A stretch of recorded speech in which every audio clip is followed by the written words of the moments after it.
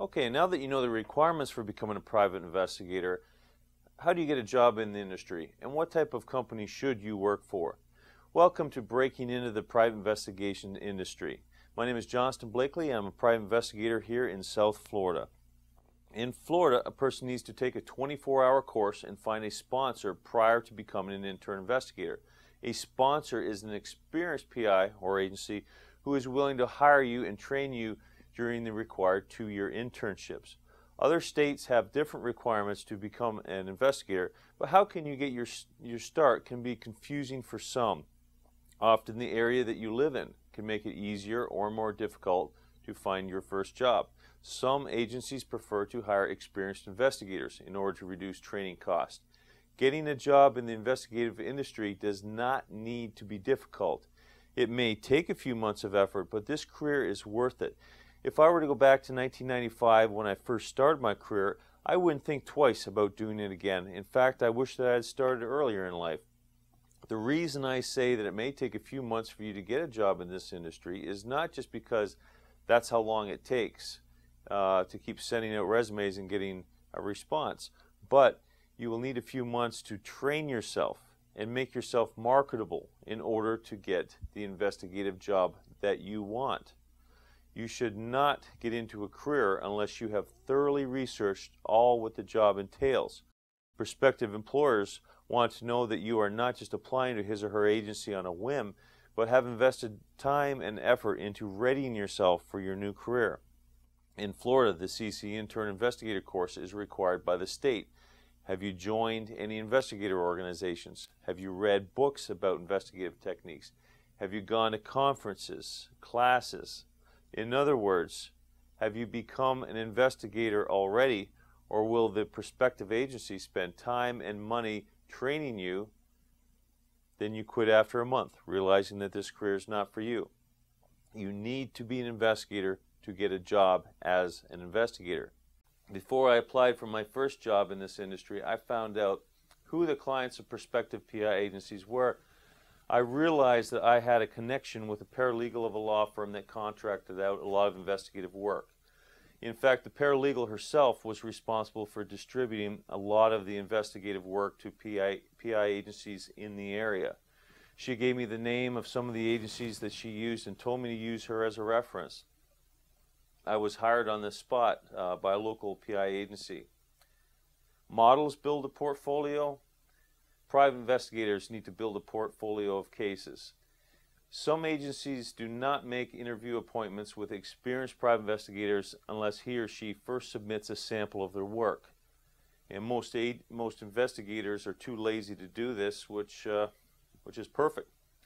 Those looking to get into uh, the industry can also start building a portfolio of work from their training.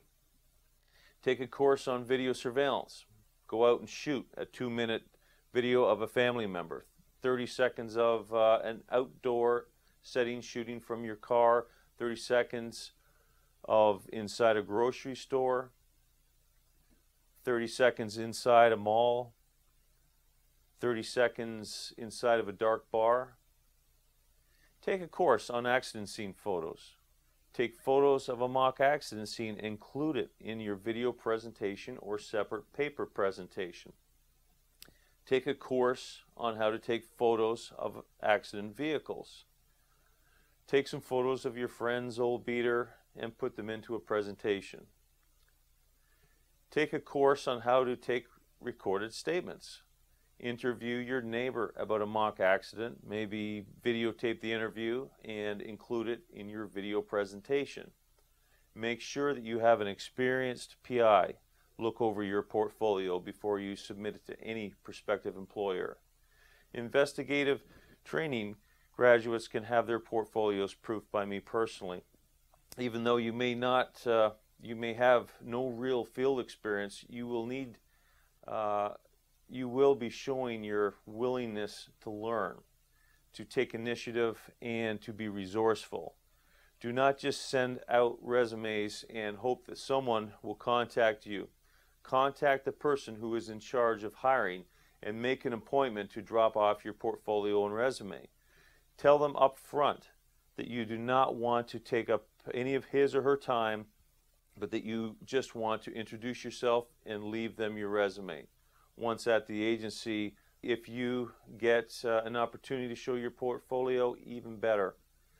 For those agencies that think that they are not hiring because uh, they haven't seen your work yet, you could mail uh, your information or better uh, even better, put a video presentation into a streaming format on, say, Vimeo, Google Video, or any other service that will allow you to block the video from public viewing. And email the agency with the link. Email both the general email and, if possible, the email of the person in charge of hiring. Take your portfolio to private investigator conferences and investigative association meetings. Arrive early and stay late. Ask for advice on how to procure a career in the industry. Most PIs will want to help you even if they are not currently aware of what agencies may be hiring. Choosing an agency to work for. Remember, you need to make sure that the prospective agency is right for you. Are they going to hire you and teach you how to become a private investigator, or do they uh, attract an applicant with the title private investigator, but are looking just for someone to fill a single purpose, mundane job in the company? You will need to work. Uh, you need to work for an agency where you will develop into a well-rounded investigator. Often, private investigators get hired to do video surveillance. Even if all you do is surveillance, this specialty will teach you the art of locating an individual, verifying the identity of individuals, videography, report writing, the operation of electronic tools for surveillance, and testifying to your work in depositions and trials. Working for a small mom and pop agency versus working for a large agency. Uh, small agencies will often need you for a variety of tasks. On, on one day, you may be doing surveillance. The next day, you may be retrieving courthouse records. And the next, taking photos of an accident scene. A negative to uh, working for a small operation is that the agency may not keep you in full-time work every week. Often, the agency will go through slow periods and busy periods working for a large agency will often uh, offer you the benefit of keeping you very busy for most of the year with few slowdowns. An investigator working for a large agency uh, may be hired for a single purpose of surveillance and little else. This is not a bad thing if you enjoy uh, conducting surveillance as I do. Even if surveillance is not your end goal, it will provide you with a lot of skills and can run the clock on your internship period. Once hired, always be available for work and training. The first six months is a sacrifice. Eat, breathe, and sleep private investigations. Remember, this is a career and not a job. Learn from your employer or other investigators in the agency, but don't. Uh, but over time, develop relationships with private investigators outside of the agency learn from a variety of sources in the investigative community, and become known. Uh, your reputation starts on day one of your training and will be with you throughout your career. Agencies pay well for top producing, no headache investigators. Uh, this is uh, a very independent career. Even if you if you work for someone else, uh, sometimes um, you will go through periods of time without seeing anybody in your company. Do not abuse the independence. Remember, your job is to take stress and strain away from your boss and not to tax him or her with too many case related problems or personal problems. Be resourceful. During my um, first few months of employment as a surveillance technician, I, I did, um, I overdid my pre surveillances.